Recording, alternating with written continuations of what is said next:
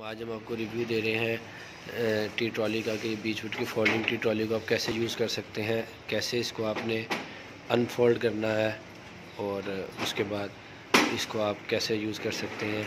देखिए very smooth है और हैंडी है इजी है। इसी तरह ही आप इसको बाद में दोबारा फोल्ड करके कहीं पर भी वापस रख सकते हैं। Thank you